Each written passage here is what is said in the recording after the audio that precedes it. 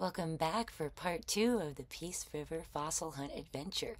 Today I'm going to identify some of the shark's teeth that we found. I'm going to show you a really great fossil identification book that I love. And I'm going to introduce you to bead embroidery so that you can see what some of those amazing shells turned into and how I did it. Thanks for coming along and enjoy.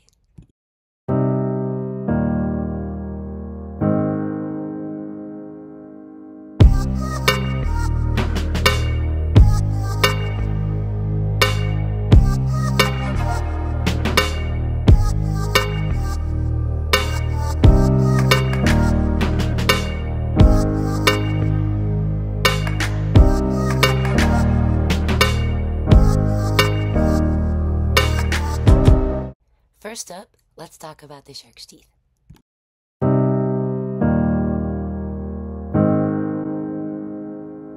And we are back at the jewelry bench, getting ready to do some new exciting things that I haven't shared with you guys in videos yet before. We're going to go over beading and we're going to talk a little bit about fossils. Now, as you know, we picked a, a bunch of fossil teeth up when we were at the Peace River.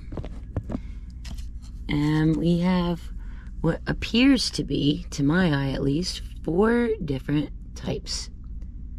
And they all have something a little bit different about them.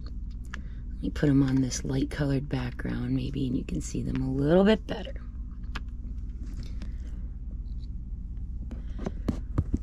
Hopefully this is focusing. You can see these guys.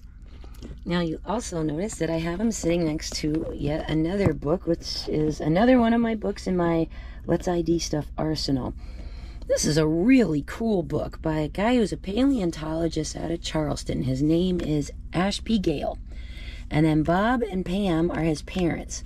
And one of them is like the cataloger and the organizer, and the other one is uh, good at photography, and then he's the, as the son is the paleontologist. So they put this field guide together, and it is wonderful. I'm just going to show you how this book is set up.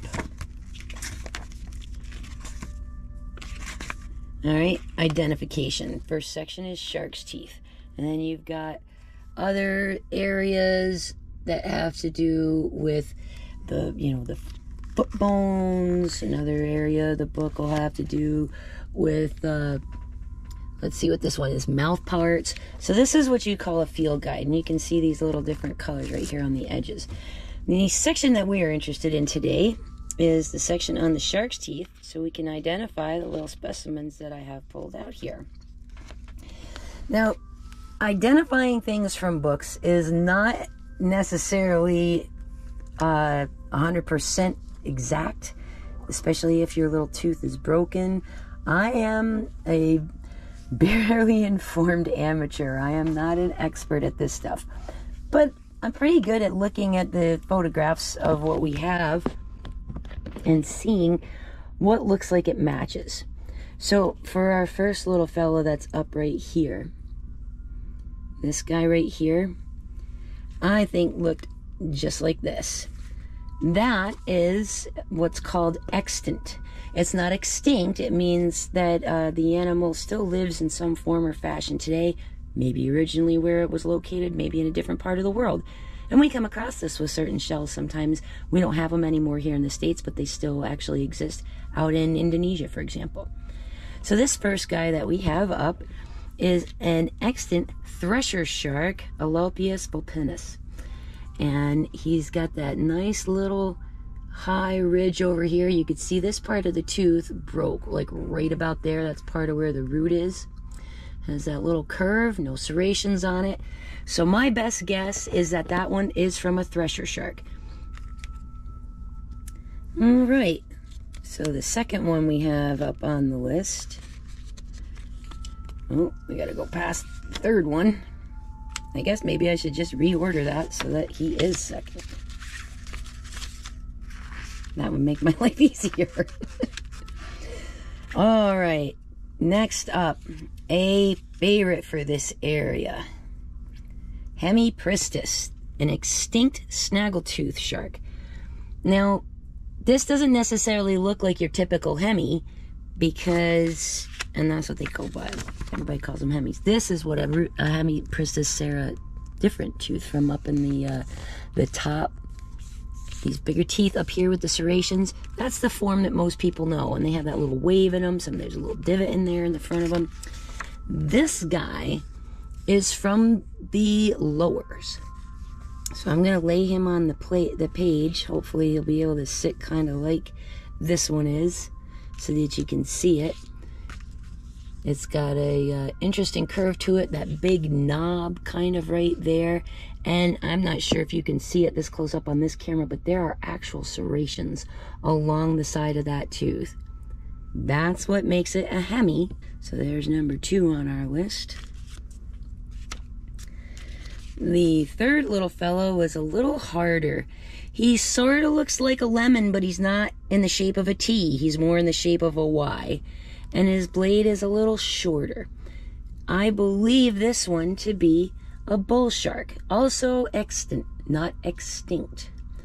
So if this one is from a bull shark, the Carcharodontis leucus, oh god, I'm butchering these names, I'm sure of it, but the blade is a little shorter, a little wider, got a little bit of a different kind of thing going on here at the bourlette and the little wings that go up on it that you can see here on the ends. So I do believe this fella is a bull shark. And then last up, we have the lemon shark, Negaprion brevirostris. Distinctive T-shape to the tooth, comes down to a nice little point. I mean, that's that guy right there, spot on. So that one is from a lemon shark. Half the fun of finding fossils is to try to figure out what it is that you actually found. And it's not that easy sometimes to find uh, great information out there. Listen, I'm not an affiliate marketer. I don't get paid if you buy this book. I uh, all I want to do is just share that I think it's a fantastic book and let you make your own decisions on if you want to invest in any fossil identification information. But this fella, being out of Charleston, gets a hold of teeth from all over. Megalodons and angustidens, which is the precursor to them. Uh, he finds some pretty amazing stuff up there. And he's done beach combing from North Carolina all the way down to Florida to make this guide. So I just thought I would share this book with you. I think it's fantastic. I use it all the time. And uh, yeah, just great the way it's set up. And I'm just going to flip through this so you can see. You'll see all different sorts of things in here. Not just from sharks either. All different sorts of fossils. Here's a popular one around this area right here. Stingray mouth plates. We find these guys all over the place. There's another one we can find around here from a Glyptodon. It's one of the body armor plates. These are osteoderms from an armadillo. So these types of things are some of what we find in our fossil record around here. So many of the things that you see in this book, oh, there's some garfish scales right there. Many of the things that you see in here are things that you would actually find on our, our beaches or going fossil hunting here in Bone Valley. So just thought I'd share that book with you. Enjoy it.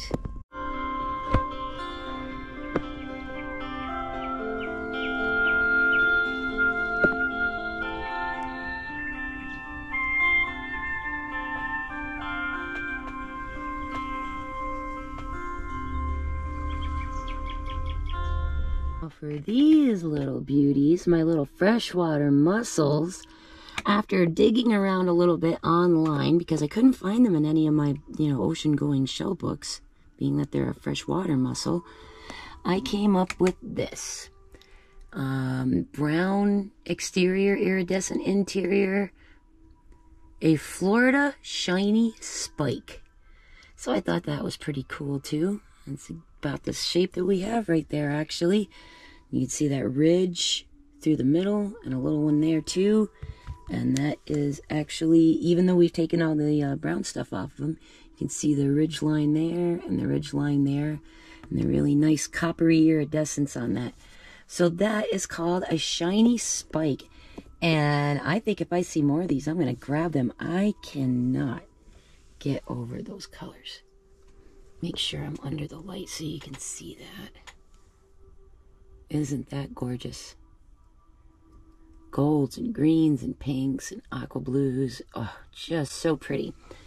So, as I mentioned before, I was going to do some embroidery around these. And to start that off, I'm going to have to attach them to this backing. So that's what I'm going to do next.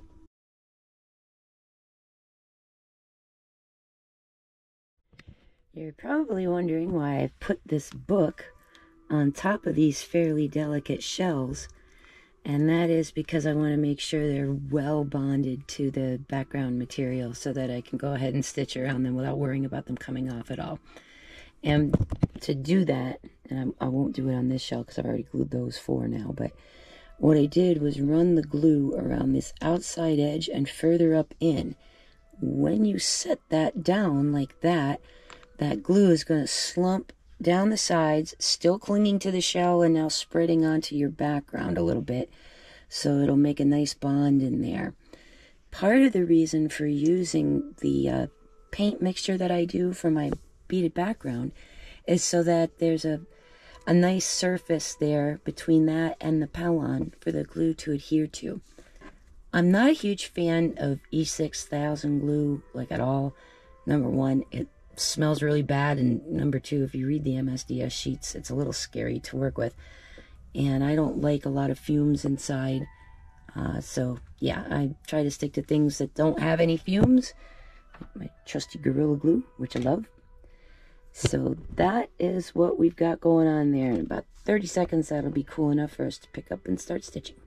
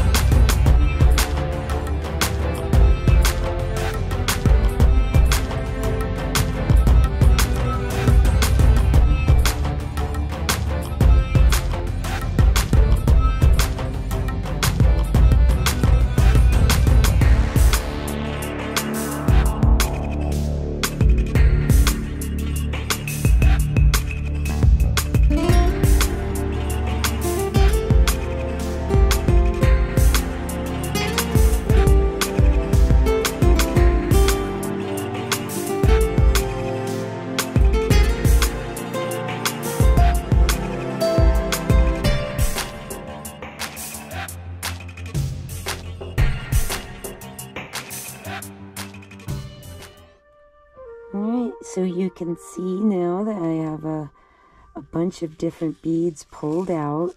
Some of my containers are a little beat up. Um, I have this collection of just neutral colored stuff that I use with a lot of my little beachy style projects that I do for seed beading. Um, I tried to pull stuff that sort of sets off these colors that you see shimmering in these shells.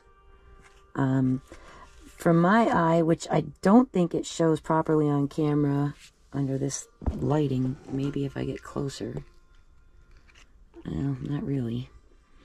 You can see little flashes of blue greens and pinks in there. There's some copper and some pearl and some dark gray. So what I tried to pull was things that would complement and go with that. I, I pulled this one, but I don't think I'm going to keep it. It's a little too gold toned, I think. This is, to me, this is cooler colors when I look at it. So I, I don't think it's going to end up being with this. And I'll do that. I'll pull a bunch of colors and I'll put things back and I'll try something else. I really don't need very many beads, honestly, because I'm not going to be doing a whole lot around these. These coppery colored ones. I think look nice. So I'm going to put these at the top with these little Zoliduos on either side and then go around like in a little line. Anyway, that's the plan.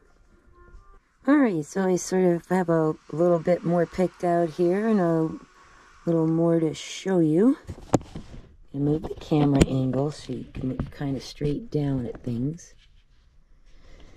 All right, these beads here are called Zoliduos. Z-O-L-I-D-U-O-S. Zoliduos. Well, it's hard to spit that out. And they come handed, left or right-handed. And I thought combined with this little thing here and then I've got these for like two little eyes. I thought this looked like a little hermit crab kind of peeking out from behind the shell and I thought it was really cute. So that's what I'm going to do with these. I'm going to bead that on there and then go around in a line and then put a little hanger at the top so that you can hang them off of earring findings. And uh, then they'll be backed with ultra suede. The thread I am partial to is called KO. Um, it's a colored version of what they call Sono thread. It's a little hard to get the spool started. But once you get that out of there. And I'm going to pull off a length about as long as my arm probably. Just so I have an, make sure I have enough to go all the way around and complete this thing.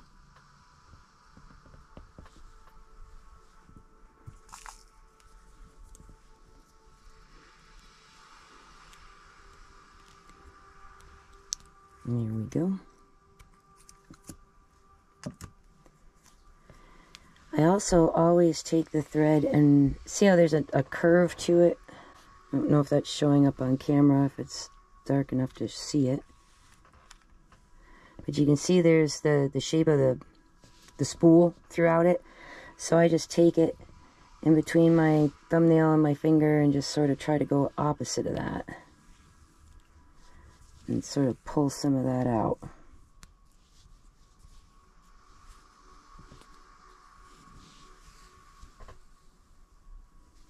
Yeah, that's a little better. And I do that because if you leave it all curly like that, it'll want to twist up on you when you're working. And it'll make things a little more difficult.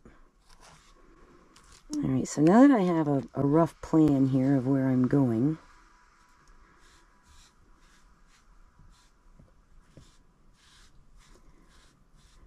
Now, if you're already a beader and you do this, your first instinct might be to cut this apart. But I'm going to leave them together so that I can make sure things are lined up on the same sides, same spots for a matching mirror book and match kind of a, an effect. So the easiest way to do that for me is I'm just going to leave both these pieces on here.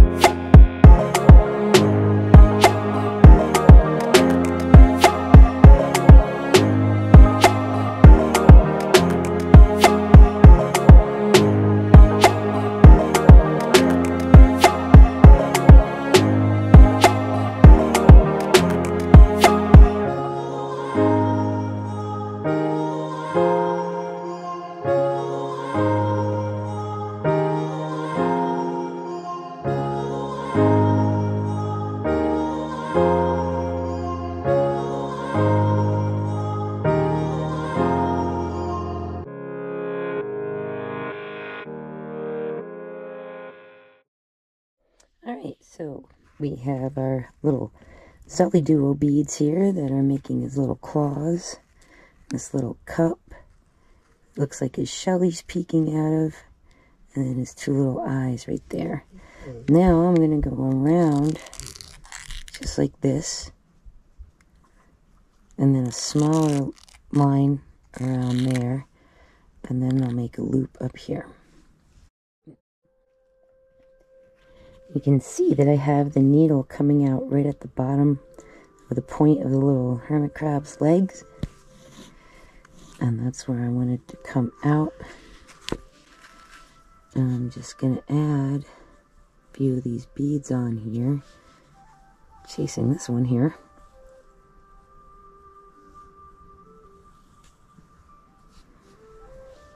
And I like to go like four or five at a time. And then back stitch through them. So that means I'm going to go down. Right here as the thread exits that last bead. Then I want to come back up through between the first and second ones I just added. Right here.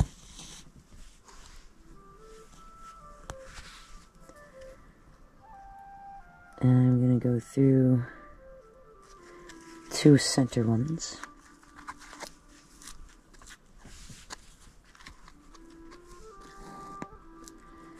And back down in.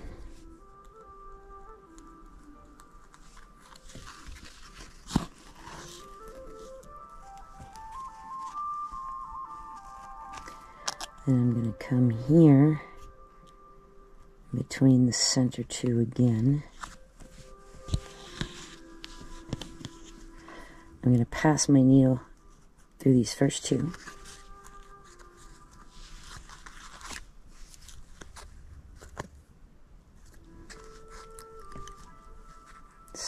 Everything up a little bit and then add some more and repeat the process all the way around until I get to here.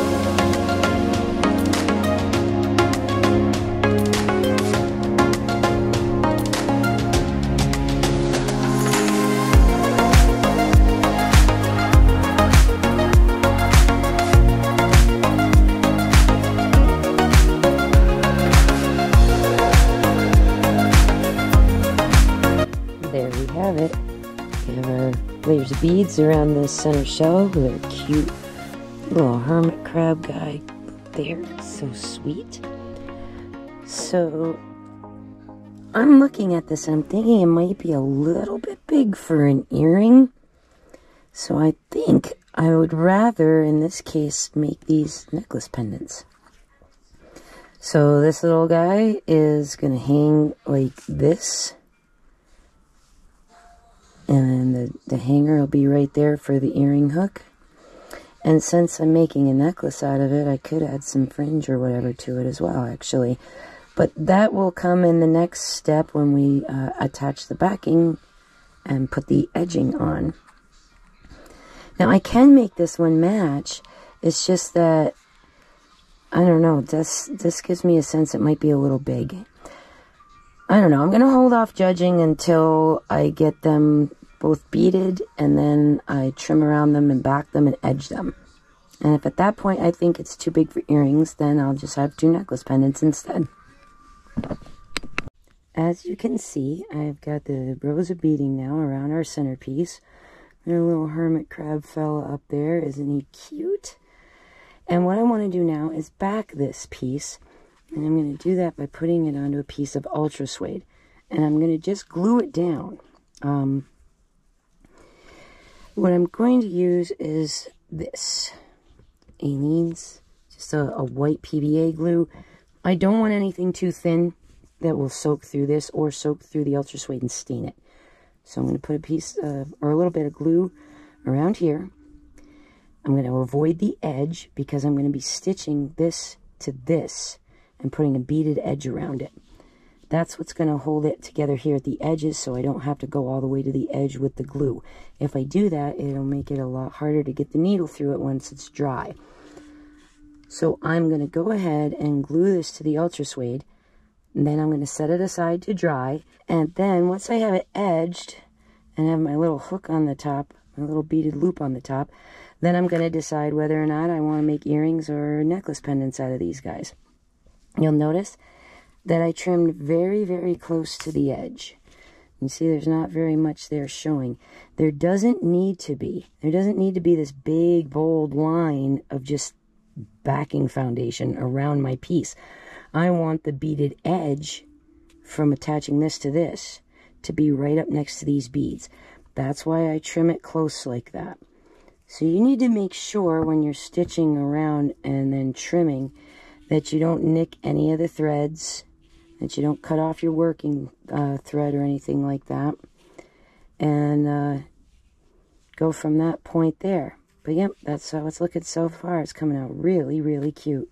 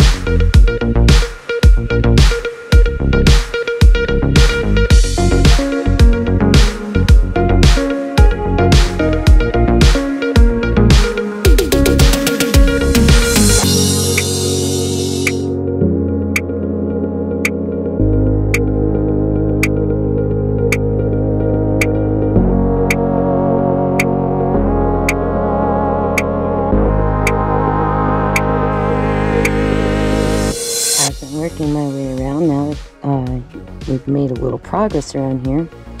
You actually can see this beautiful little sparkly silver border. These are small bead. These are an 8, that's an 11, and that's a 15 aught. And uh, they they go a little even tinier than that, but uh, as you can tell as I'm putting them on the needle, the needle's very thin, the bead is pretty small. Hopefully you can see that on there, and that's what's making the edging. And the reason for having a neutral thread is so that you don't have a, a big bold line of stitch work here on the back too.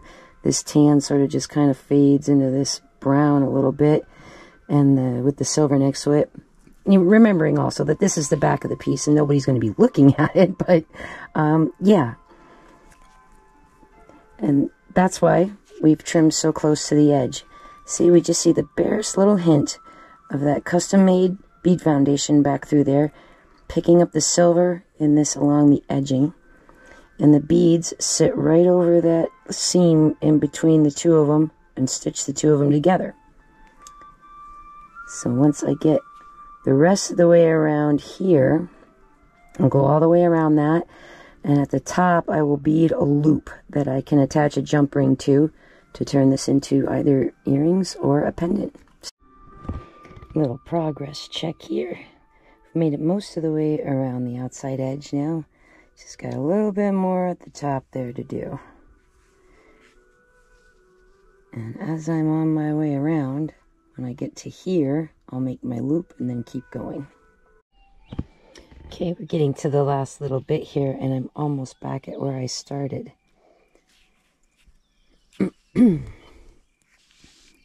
so we'll go through how to join those up.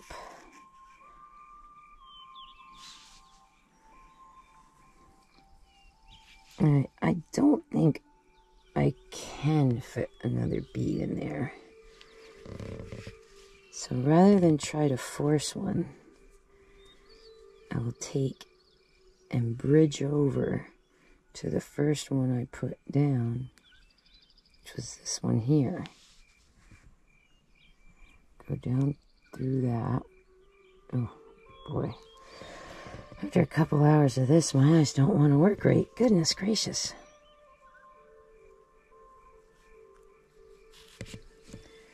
Okay, just like that. I'm going to go back through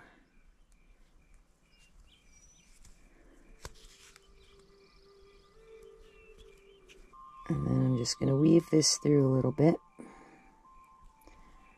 All that means is going back through some of the other existing beads.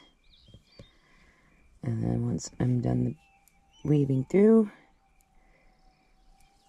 I will go ahead and finish this off and this piece will be complete. There's the one I wanted to go through.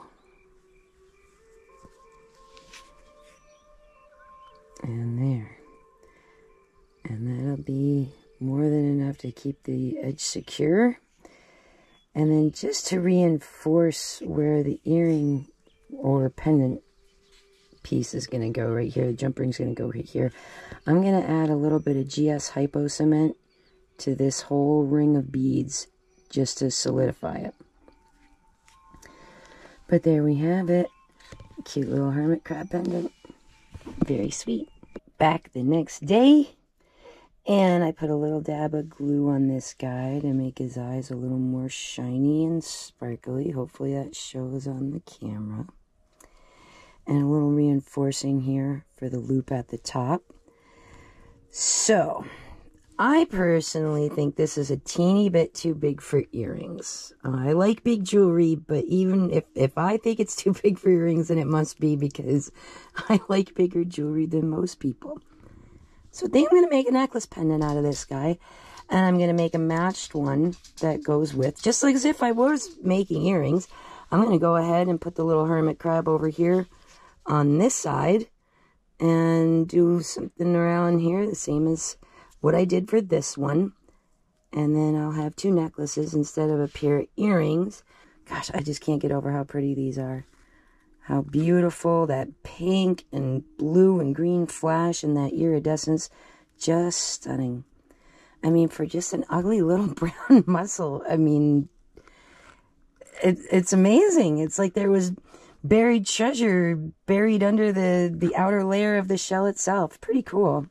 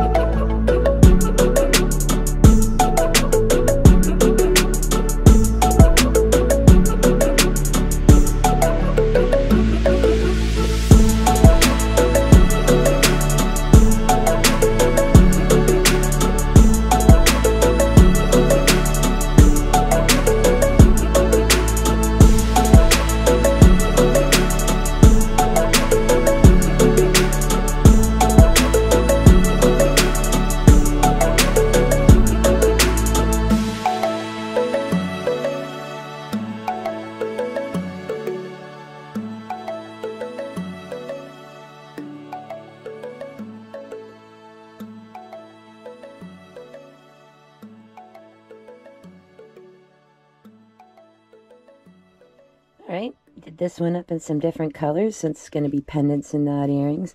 Really like it with this little blue and that pink, picking up those colors that you see reflected in the shell itself. I really think that's cute. So now I'm going to trim around this and we'll go ahead and put it on ultra suede and back it like we did the other one and put an edging around it.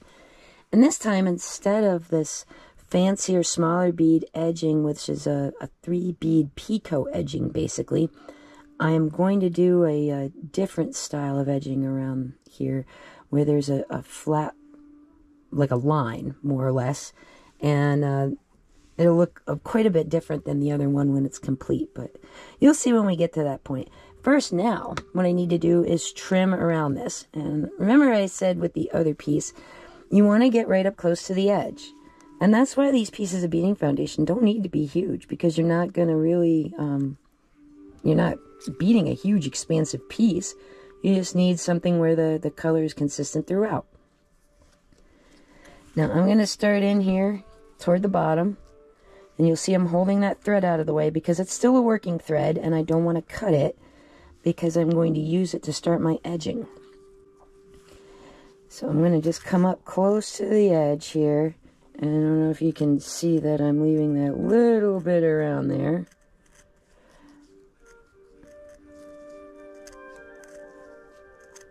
And again, you don't need to leave a lot of space around this piece. There's plenty of material there to sew into. Slip that off like that. Now, that's kind of a little tight bit of a spot. So I might actually have to come in with different approach, different side, just to get that little piece out of there.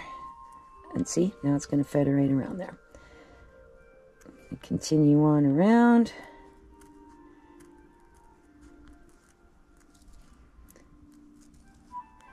And now it's probably becoming kind of clear why it is that I make my uh, backgrounds custom matched and neutral so that if some of it does show, it blends with the shells and the bead piece. And there we go. Cut around the edge. All right, we've glued it down. Now I'm going to go around and trim this edge.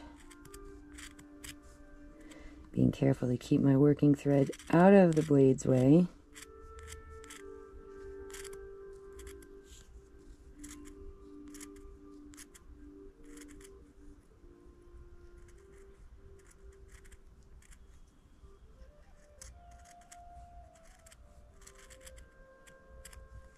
This ultra suede cut's nice too.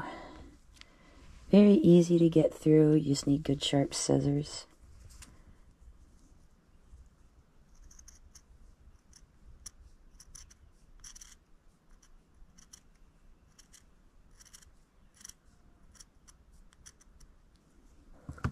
Now, ultra suede cut's easy, but it's a little tricky to get these little fine details cut in. And it's okay if you don't get that on something this small out of there. But what you don't want is you don't want the ultra suede being bigger than the actual piece because then when you stitch the edging, it's going to fold that fabric over and kind of get in the way and give you an uneven edge. So I try to make sure I've got it trimmed as, as tightly as I can, as close as I can without a lot of extra showing along the sides to mess it up.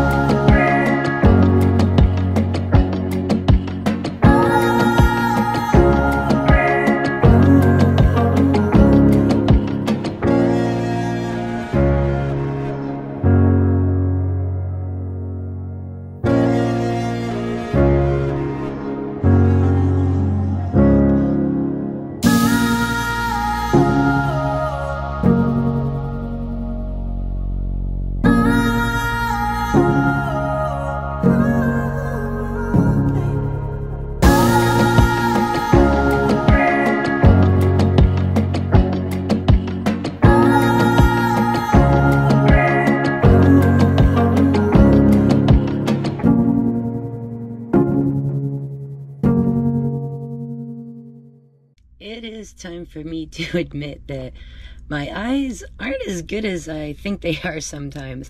And I really, I really noticed it and realized it while I was working on uh, this project here.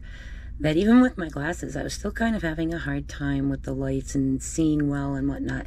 So I overnighted this crazy little stand thing from Amazon, and it's it's a little weighted base, this gooseneck thing, and uh, that's that's what it says on it. I'm again, I'm not an affiliate marketer. Um, it's just if you're interested and you like it, that's where I got it.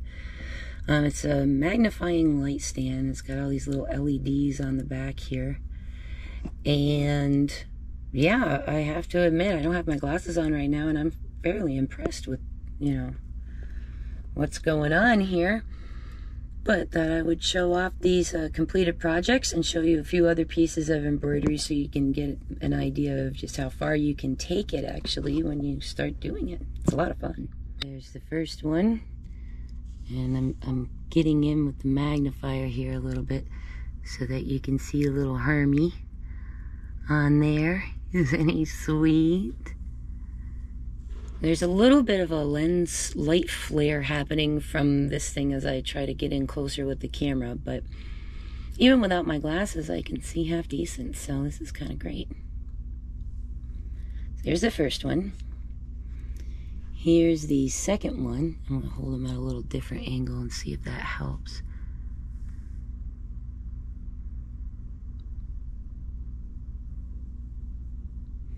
looks like a neat special effect, but I'm not trying to have it happen. It just is.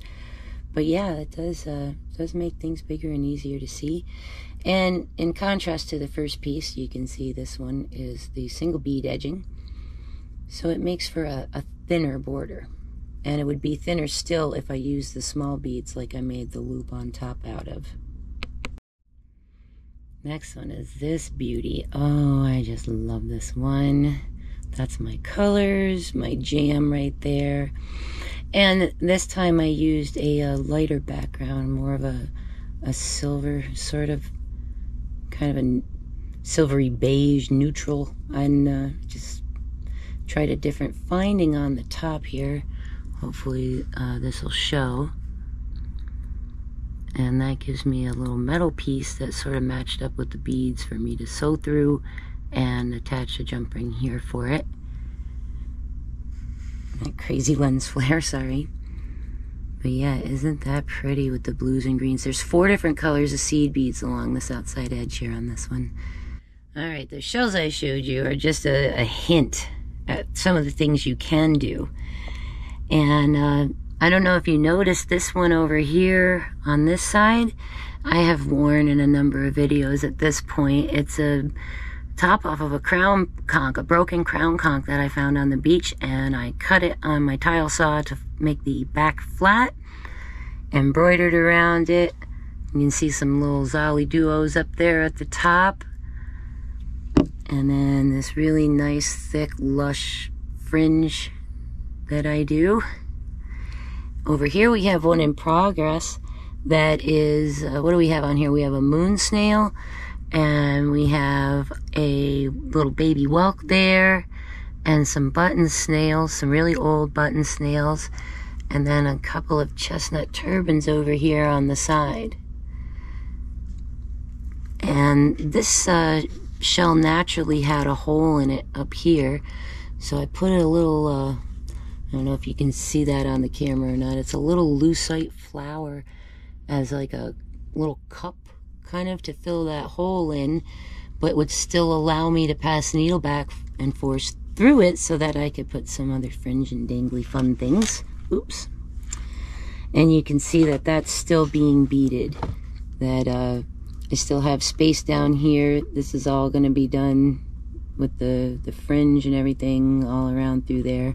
And that thread is just my working thread. I have it just wrapped to the back and wrapped around the, the side of the piece. That's nothing that is part of that stitch line. I like the uh, the punch of some of the pearlescent and shiny beads against the relatively matte finish on most of the shells. It's a nice contrast. So that's a piece in progress. This is uh, one of my favorites. I wear this all the time. I love this one. Just super pretty. And it's it's thick. I mean, it stands away from you. I'll try to show you a side view here. So you can see that that stands off of your chest by about an inch, inch and a quarter or so. So it has a lot of dimension to it. And here's something a little more complex, a little more artistry involved in this one. I have uh, this piece on the sides just flipped over to show you how it's backed with like a wine colored or chocolate colored rather ultra suede on the back. And these are slices of deer antler that I got, I forget where now, I've had them for years. But I beaded this to wear to a gallery opening for a Bead Society uh, gallery show that we did. It is uh, deer antler and crazy lace agate, the big uh, crazy lace agate cabochon there, with another large one down here. And I've uh, run some wire and things through the back so that I was able to attach chain and things like that to it.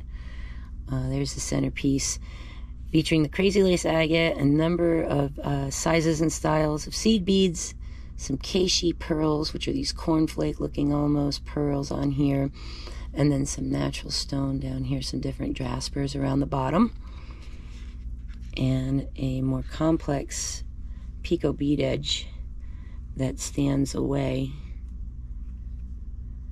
And it's done with these little disc beads and some crystals rather than seed beads. You get a little more pronounced, and then you go down to the bottom section and this is the magnifier is distorting the shape a little bit.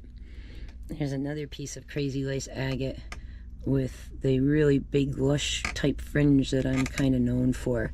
That fringe itself is what stands away from the piece, unlike the crown conch. The fringe is what sticks out. And this necklace is pretty long. You wear it with like like a long, simple, single colored dress. It's perfect for that. And with more of the stone around and the seed beads and the Keishi pearls. And uh, I've got pieces that are even quite a bit larger than this, uh, pieces that have been published and shown, different things like that. So uh, you, you can let your imagination run wild with bead embroidery. It's kind of a fun little technique to have in your arsenal as an artist.